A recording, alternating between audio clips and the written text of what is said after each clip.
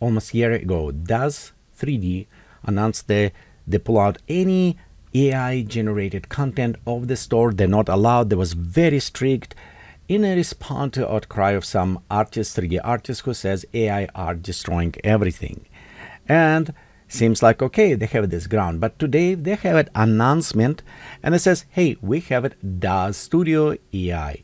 So they stepped on this market. They introduced tool from there which will compete with their own product. So in this video, let's go look and check what they produce. Do they actually fool who try to join market too late or try to recapture or they have some clever twist on what they're doing. And you can notice it is have a kind of model. So what they're doing overall, they're allowed to sell some models. And when you buy the model, you can use it after these 3D applications where you can import the model, it's 3D model, and you can of course modify. You can readjust pose, change class, color, do all this stuff. By itself, Daz Studio actually almost don't produce any 3D content. Almost every content, what you see right here, would be specific models, texture, clothes, lighting, props, landscape, anything. It's produced by independent artists. So Daz Studio does 3D it hub who sell those. And it's actually a very good hub. I sell some of my products there. And you know what? It, it's make money. Some people make living actually out of sell models here.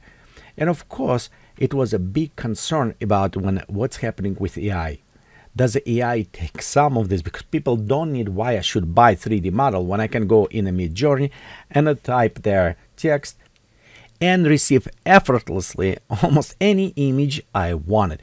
Why do I want to use it, the Studio?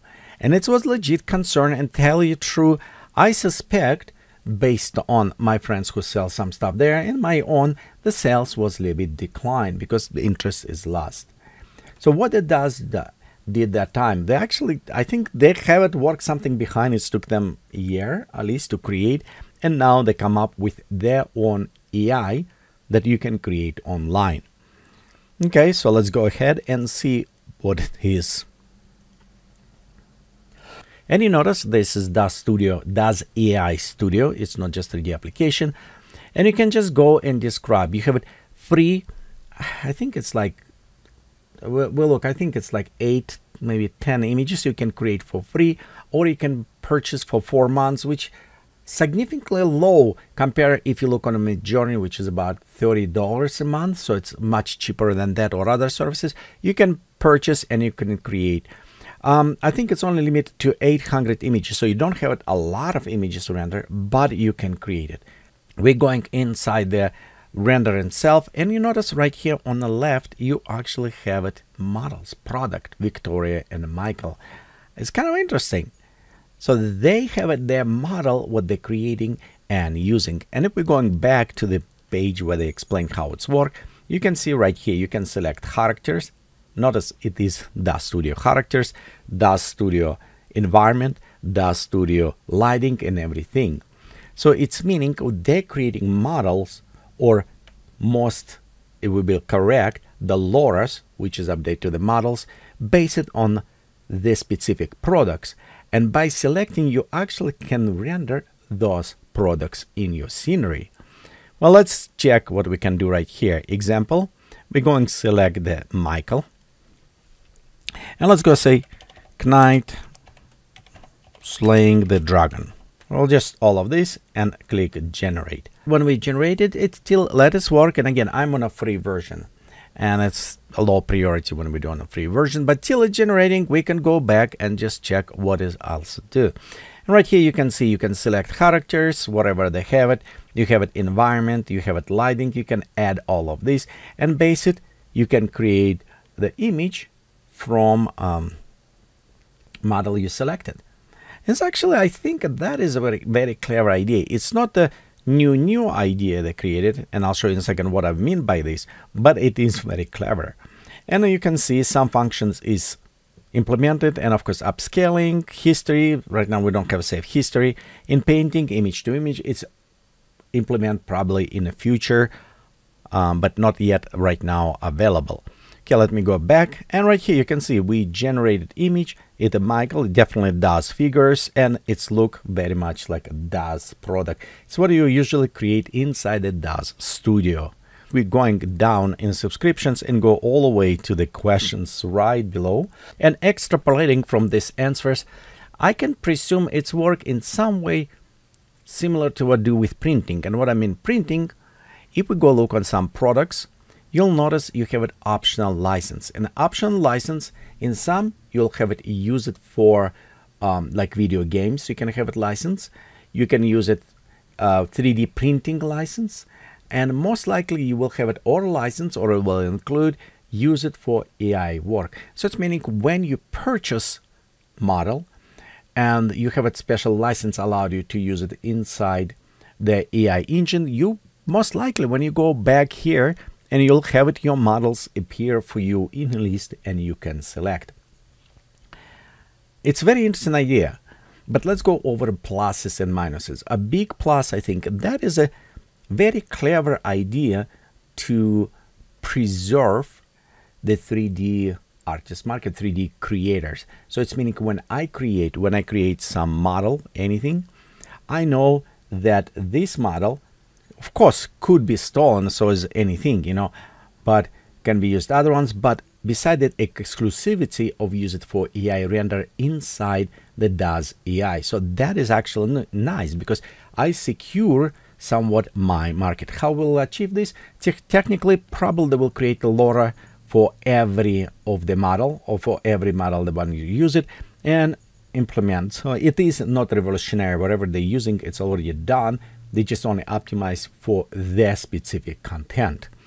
And that is nice for the 3D artists so they can create and they kind of can secure. Let's speak right now about a little bit bad stuff. And this is could be very potential killer of this application. And what I'm meaning by killer of this application, we're going back to this interface. First, when you look on the interface and ability what it can do, it is too little and too late. Right now on the market, way more sophisticated interfaces you can do it.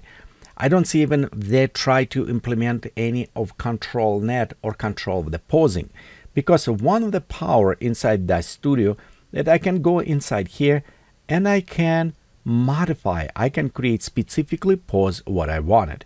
You can do same with stable diffusion by using control net. In this case, we don't have it. Some rendering also show me they're on a level of stable diffusion 1.5. They not even come closer, if we look on the quality of this render, it's not even come closer to SDXL model. Uh, we don't even speak about a Midjourney level of the rendering. You know, no way you can come to this yet. Maybe in the future, but right now, not yet that to that level. So how much uh, they can create this no pause. Very limited also arrangement because when you create you says okay i have it this model i have it some ability but now you lock. So you don't create any of the camera angles. Also lightings and everything which you can do in 3d and you know interesting for personal experience uh, working with uh, 3d um, developers and everything with modelers Actually, interesting. I see a lot of artists they going back to actually 3D away from AI. It's almost like you know when you have some very nice sweet drink come out and everyone jump and says, "Oh, look, it's a so sweet, it's nice drink." But after time, it's become too sweet. It's too much same things over and over, and you want your original something that you can customize, and that's what I feel to me. AI it is over sweetened tool which is nice to use and it's useful in many cases. But sometimes you want to go and have it hands-on feel like more that you can uh, you're actually creating by yourself. And let me put uh, for that DAZ Studio related in a quotes by yourself because all those models texture and everything pre-made it by other artists what you actually doing it is posing them setting camera setting light setting texture and do this well, in some cases, it's what photographers do. I'm a professional photographer, and actually, I don't make models. Somebody else made them. real models.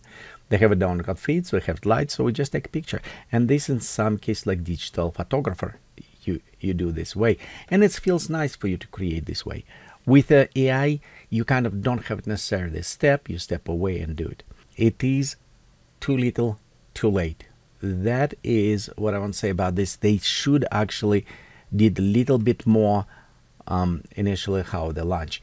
They don't have enough libraries right now. They don't provide enough customizations and options what you can do with models compared to other services. If, for example, you're going to like service Night Cafe, and if you look on Night Cafe, it is give you more credits. So daily, for example, I have over a thousand credits I did not pay from Night Cafe because they give you constantly. So you collect more credits. You can create better art, more interesting compared to the Daz. And beside that, let's go like create. And you notice right here, we have a different models and we also have a pose. We can import image and it's all for free. So you have it your credits. You can create this for free. Easy you don't need to pay four dollars or anything. So this is and this is just one competition and it's way more. Mage.space and i how say i can name them a lot of them tons of them which is very strong competition. So now you enter too late on the market. I still think the power of the DAZ studio and uh, DAZ 3d it is in this hub for the artists and creators. Uh, will ai stick around I hope so because it's given another portion of revenue for the artists and for the creators as well. But it could be another flop like Daz try to do with NFTs when they push it. So they invest a lot of in NFTs and it's literally sorry, it's flopped. It did not produce. Some people may still use it, but it's not what's supposed to be. Do you think that actually it will work? You know, go ahead. I'll provide link down below for you. If you're not familiar with DAZ or One Experiment, I will provide link down below to this AI studio. So you can go by yourself, try it. It's free version. See what you think about quality, how well it's work, what is can generated. It's not yet out. You actually don't have a generation generated history or other things. I think they rush it prematurely this. But I don't know we'll see what's happening. Right now, I'm excited about opportunities, but I'm really worried that is, again, too little and too late. Thank you for watching and have a great day.